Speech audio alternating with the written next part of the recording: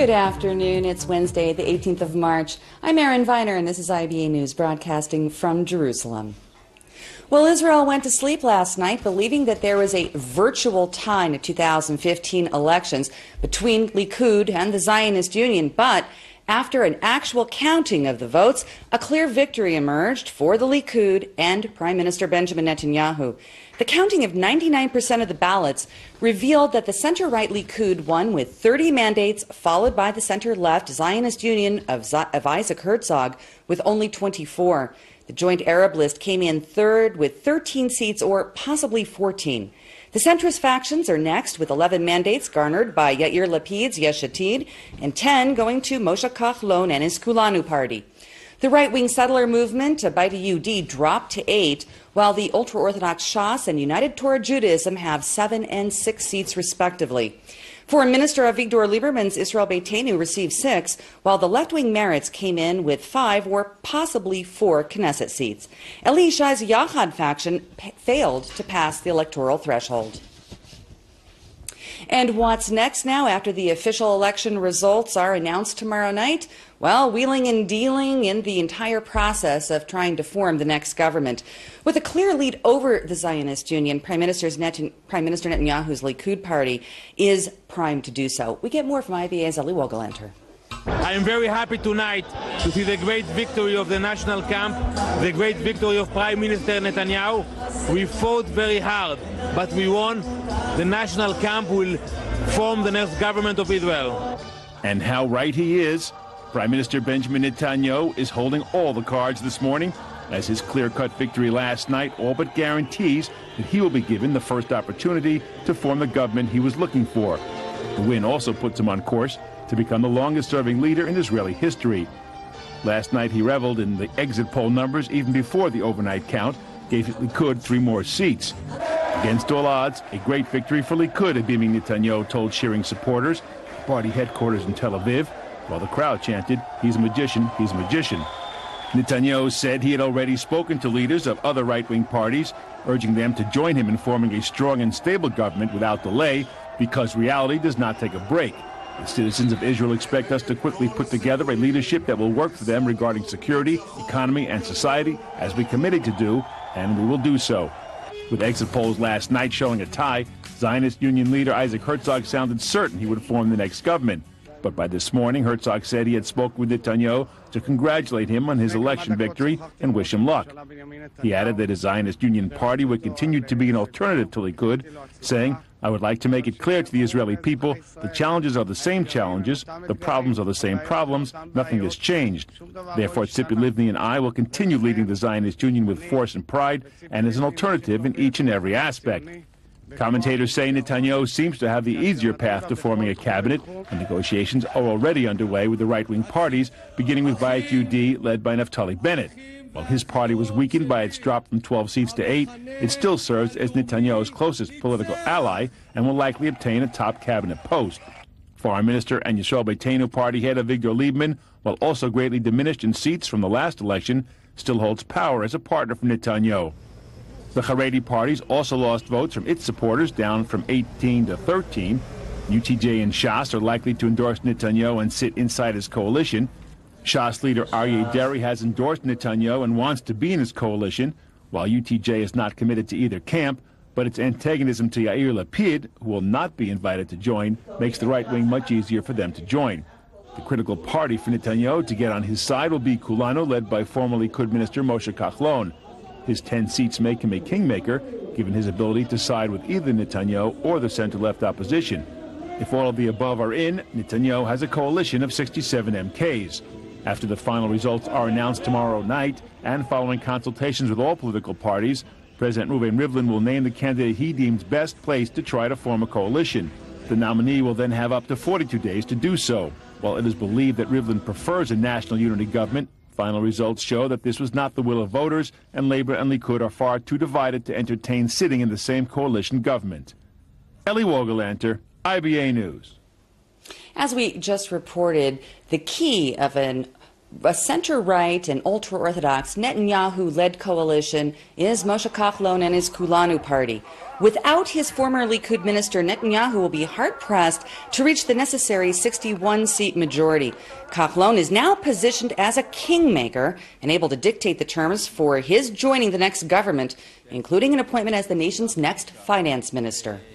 The government will have many, many members, and they will each pull in a different uh, direction and managing it will be uh, much more complex for Netanyahu than um, uh, today's celebrations uh, suggest. And I think that um, um, he is compelled to appoint um, Moshe Kahlon, his former protege and current rival, as finance minister, and will therefore uh, find uh, the government that he's about to assemble much less solid than uh, people initially presume.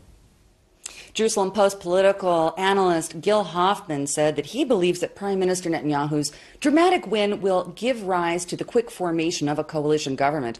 And he told IBA's Ari O'Sullivan that he believes that this decisive victory makes so called political kingmakers irrelevant. After such a convincing victory in Tuesday's election, Prime Minister Benjamin Netanyahu will honor his promise and form a right wing government. He will no longer be under pressure to form a national unity government like he would have been had the race been closer. Um, I don't see any other possibility right now. But, you know, people are saying that the president himself is going to be pushing for a sort of a coalition government. Even last night, the president's associates were telling me that if Netanyahu had a right wing government with Kahlon in hand, there was little he could do to prevent it. So, in retrospect, would you say it was a good move or a bad move for Netanyahu to call these early elections? In retrospect, Netanyahu could have governed till 2017 with the, with the coalition he had, and that would have been a good move in retrospect, calling the election and getting another four years was also a good move. So is that what he accomplished? He got another four years? Yes, Netanyahu has another four years in power. He will outlast Barack Obama as president of the United States, and he can say that he got elected to four terms. So it's uh, very impressive. He'll be, he'll beat uh, he'll be in power longer than Ben Gurion. Wow. So tell me, um, who are going to be the kingmakers this time? The notion of a kingmaker is out of date in an election in which Netanyahu won such a convincing victory. One can say Moshe Kahlon is a kingmaker because he has 10 seats, but really? Um, Netanyahu's in charge. Okay, so if we're looking at this right-wing coalition government, uh, are we going to see Shas and Aguda and other parasitic type parties taking money from the government, getting rid of all the uh, the obligation to do national service? Shas and United Torah Judaism will do as they see fit to serve their constituency. And from, for them, that means trying to bring as much government funding to them as any other constituency would try to receive from any government anywhere in the world. And it, now, when it comes to IDF service, a lot of the steps that were taken are impossible to revoke. What about the opposition? What's going to happen with them? With Herzog? Isaac Herzog proved himself as a leader in this election. If in the final result he won 24 seats, that is very impressive for the leader of the center left. When there are polls that say that the people in Israel who identify themselves as left wing are, are only 3%, uh, he united the center left in an impressive way. He has a bright future ahead of him. What about Meretz? It seems to have collapsed. Meretz has no reason to exist anymore. Meretz was taking votes away from the man who could bring Netanyahu down. Um, and so Zahava Galon is apparently quitting the leader of Meretz. Perhaps the rest of the party should follow suit and either quit or join Labor. And then we have Yesh Atid and Yair Lapid. He's still a force to be reckoned with, no? Yair Lapid proved that his party exists, will continue to exist, uh, will present an alternative uh, for young people in this country. And, uh, you know, over the next few years, if he presents a better alternative uh, than Herzog, uh, he could become a leader in this country. Joining me now in the studio to discuss the election results is Hebrew University political science professor Avram Diskin. Thank you for coming in this evening. Thank you for inviting me. Do you agree with those who say that it's a foregone conclusion that Netanyahu will put together a narrow, right wing, ultra Orthodox coalition of 67 members? I really cannot see any other alternative. You know, the only other alternative that I can see is even a narrower government without uh, Lieberman. You know, Lieberman um, could have been a troublemaker had he had the power uh, to cool that uh, cabinet down. But uh, there are 61. This despite the fact that Shas was down four seats from the previous elections. The ultra-religious Ashkenazi United Torah Judaism Party received six seats, one less than the previous government. This due to a bitter divide within the Ashkenazi Haredi community that resulted in a de facto boycott by rebel Rabbi Shmuel Auerbach. Already yesterday, Yaakov Litzman said he would enter coalition negotiations with the aim of rolling back some of the destructive rulings made by the previous government. Israel Beitenu Avigdor Lieberman's party were left with a mere one-digit number of six, compared to 11 in the previous elections when they ran with the Likud. Party activists were quick to blame the police investigation against a number of party officials as the reason for the downfall. A day after Meretz barely scraped through with four seats, Chairwoman Zahava Galon announced she would step down and hand the reins over to Knesset member Tamar Zandberg. Shas runaway Eli Yishai's Yachad party just barely failed to cross the 3.25% threshold, causing nearly four mandates to be wasted. With final results expected to be published on Thursday by the Central Election Committee, we may see very slight changes in the count of mandates. Margot Dudkevich, IBA News. Based on the recent tensions between Prime Minister Netanyahu and U.S. President Barack Obama, one might have thought that the White House could be asking for a recount, but instead, the Obama administration issued a statement saying that Washington is looking forward to working closely with the next Israeli government.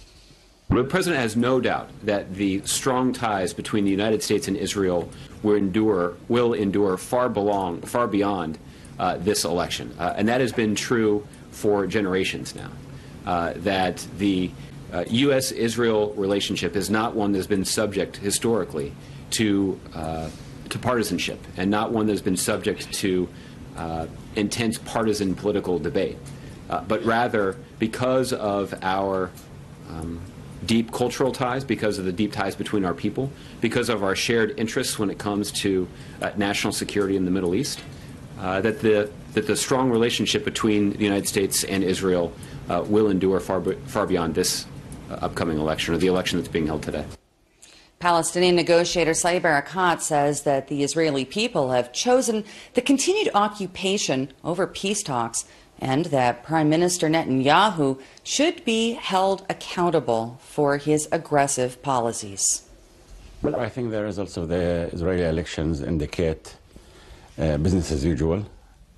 Uh, it seems to me that uh, Mr. Netanyahu will form the next government in Israel. And we all heard what he said yesterday. He said if he is really elected as a prime minister in Israel, Mr. Netanyahu said he will not allow a Palestinian state. And I believe now it's up to the international community to stop treating this prime minister as a prime minister as above the laws of man, and he should be held accountable, and he should, the international community should not cover him or give him impunity. Impunity will mean more conflict, more complexities, and it will not make peace. Justice will make peace. Here in Jerusalem, voters had mixed feelings over the election results. While some were delighted, others say that they now want to leave the country. IBA's Ari O'Sullivan hit the streets to ask residents for their thoughts. We're here on Gaza Road in Jerusalem, and a little bit over here to the left is the Prime Minister's residence. And after the stunning victory last night, his comeback from behind victory, it looks like the Prime Minister and his wife Sarah will be in this house for another four years. I, I don't think I really knew who to vote.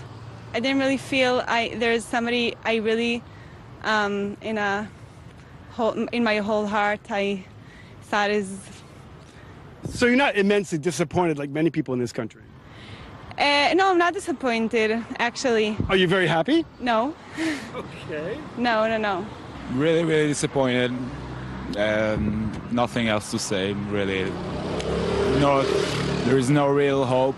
All our community, all our friends here in the university just start to discuss the possibility of leaving Israel. We start to we realize it was tough. We start to have some hope in the in the end. Everybody was talking about the change that's going to happen. Everybody is tired of Bibi, but Bibi, the king of Israel. I think he's done a very good job dancing around the president and the Europeans for the last six years.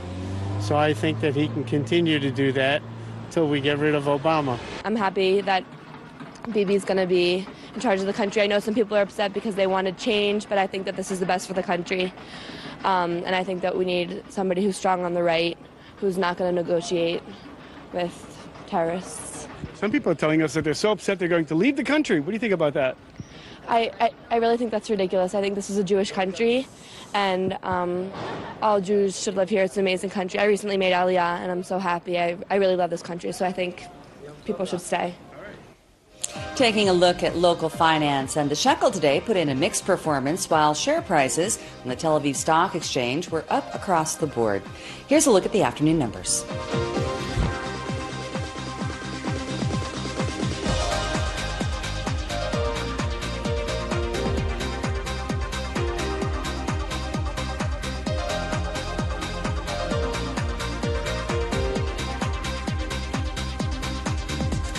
Fortunately, the beautiful weather helped to accommodate the 72% voter turnout at the polling booths, but now we're headed for slightly more wintry conditions.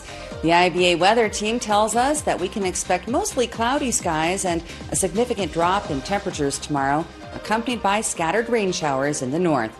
Here's a look at the forecast at home and abroad over the next 24 hours.